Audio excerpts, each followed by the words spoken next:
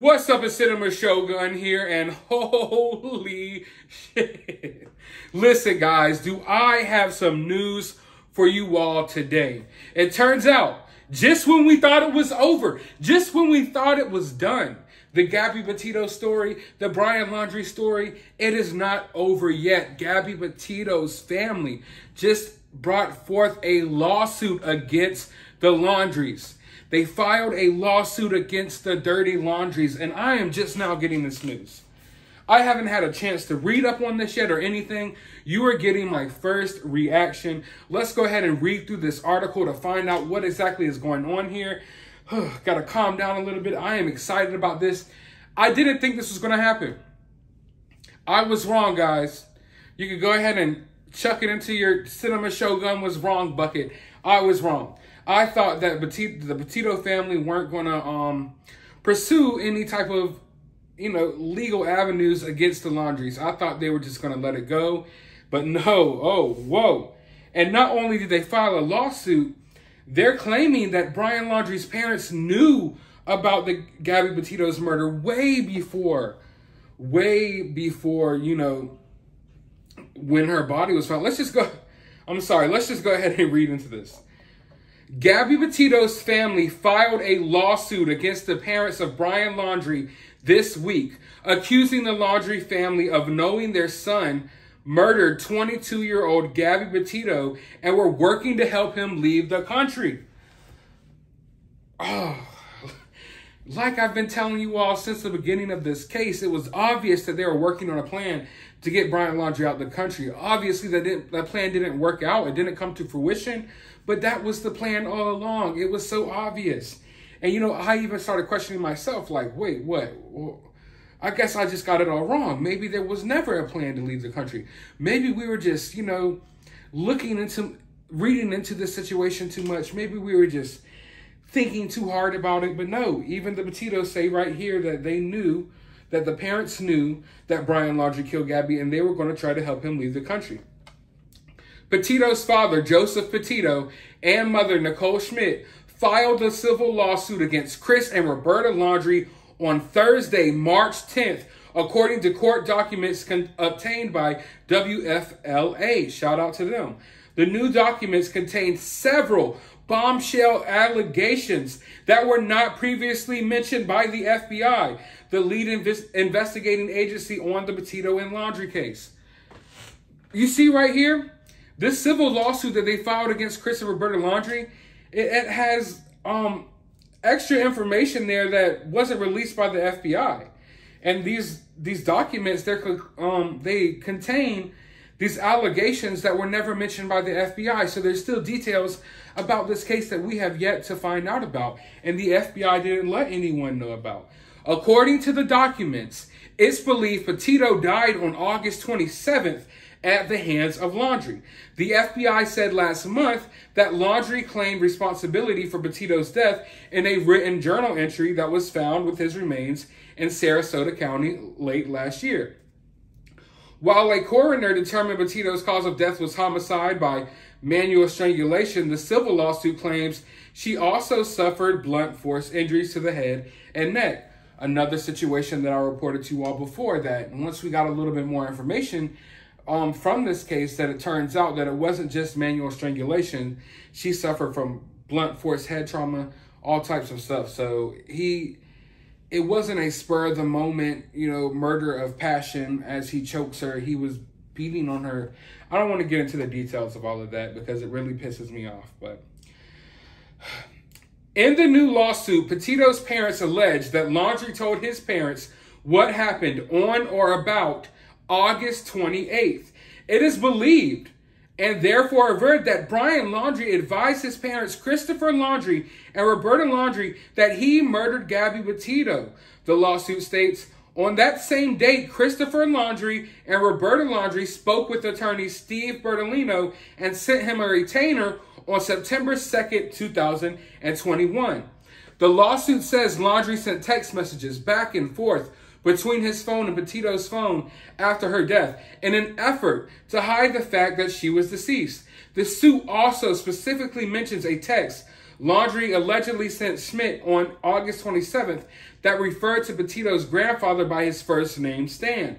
Petito's mother had previously, previously said that final text message raised red flags to her because Petito never called her grandfather by his first name.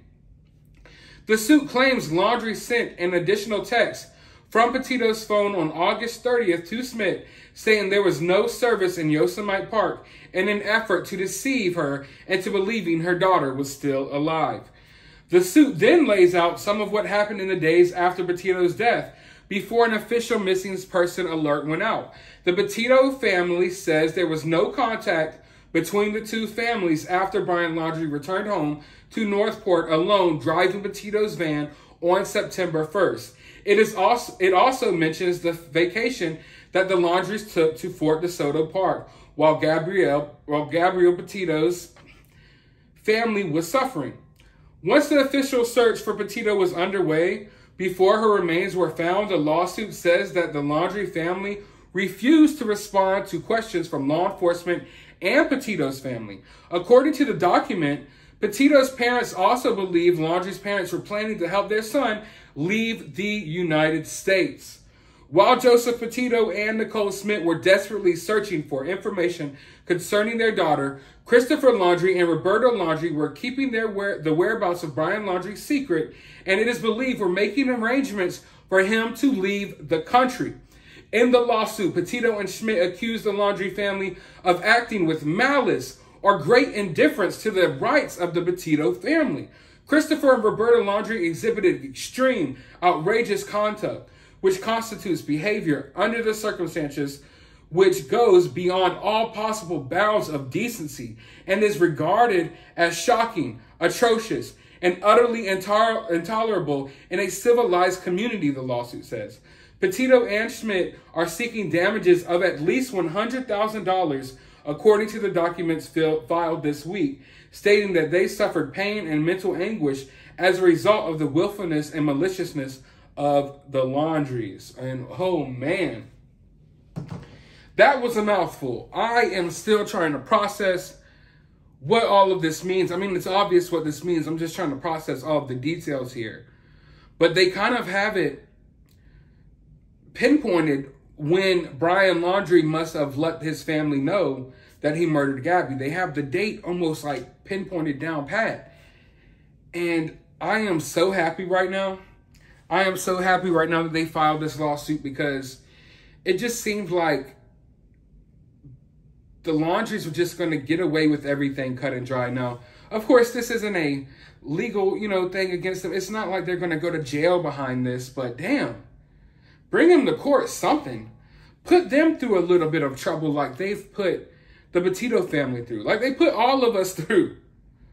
They put all of us through so much over the time of this story. And of course, what they put the Petito family through and what they put us through is completely different. I'm not, you know, I, I understand that. But I'm just saying this family put the whole entire world in a whirlwind behind this case.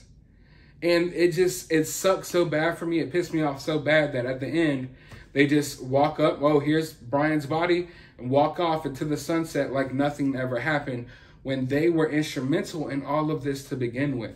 And seeing it basically clarified that even the Petitos believe that they were trying to cook up a plan to get Brian Laundrie out of the country. It just, it all comes together it was blatantly obvious to I think most of us that that was what the plan was going to be. It was obvious that this camping trip they went on was a trip to get away from the house and try to plan things out. And it just didn't wind up working out for Brian Laundrie. I think the one thing that they um they miscalculated was how quickly this story was going to blow up. And once this story blew up and it was getting to the point where people are like, pulling up to their house and standing outside all day and it looked like it looked like he was going to be arrested sometime soon at the very least.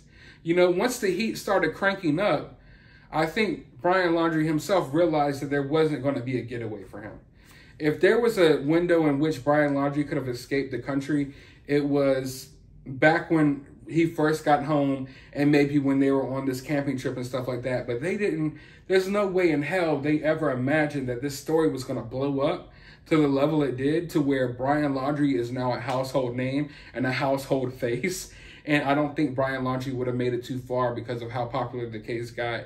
And it just got to a point where I think Brian Laundrie felt cornered. He realized that, like, I can't even walk out my front door without people, you know, picketing outside and protesting outside. So he went ahead and went with plan B, which was to take himself out because he couldn't face jail. He was a coward. Not only could he not face the decision he made to kill his girlfriend, but he, he was scared of jail. That's the reality of it. Brian Laundrie was scared of jail. We can sit here and, and, yeah, maybe it's nice to believe that maybe he was just drowning in his own sorrows about what he did. No, he was afraid of jail. If he was drowning in his sorrows about what he did, there wouldn't have been a big trip home. There wouldn't have been these fake little vacations that him and his family took family took to obviously plan things it, there wouldn't be a lawyer, you know, involved. He would have offed himself in the beginning, but no. He tried, his family tried, and they tried unsuccessfully. And Brian Laundrie wound up leaving and going and doing what he did. I mean, of course, some people still think he's alive. Also, some people think that he had help in ending himself. I'm not so convinced about that, but there's people out there that are swirling around that possibility now. I don't think that's the case, but anything is possible here. But I am happy that they filed this lawsuit. I cannot wait to examine this a little bit more, try to find out a little more details here, and break it down for you all. Because you got to know, this isn't the last you're going to hear from me about this. I'm going to do some research. I'll be back with a couple more videos. And as this lawsuit plays out, I'll be here with every update because I'm going to be sticking onto this story. And I want you all to watch all of these channels that forgot about the Brian Laundrie story, all of these channels that moved on from the Gabby Petito story and didn't talk about it anymore and didn't even update you all. When the final report from the investigation come out, now they're going to be all over this story again because now it's got eyes on it again. Because now it's a lawsuit, now it's drama. I'm going to cover this story until the end. And I thought that it was the end in my last video that I made about this a couple of weeks ago, but it looks like this is going to drag out for a little bit longer. Who knows what will come out come out of it? Will the Laundries be forced to say something, be forced to speak, hopefully? And the main thing this means is that we haven't seen the last of Stevie Tutex Bertolino. So I hope you all are ready for how much drama this is going to have attached to it. Let me know your thoughts about all this down in the comments below. While you're down there, hit that thumbs up button, hit that subscribe button ring that notification bell. If you would like to support this channel, I'll have my cash out below. You can donate that way, or you could become a channel member. I will make a members only video talking about this for sure, because I just want to talk in a more intimate setting with some of my members about this situation where I could just freely talk about anything. But I'm interested in hearing all of your thoughts. Like I said, subscribe. And as always, find some time out of your day to go watch a movie.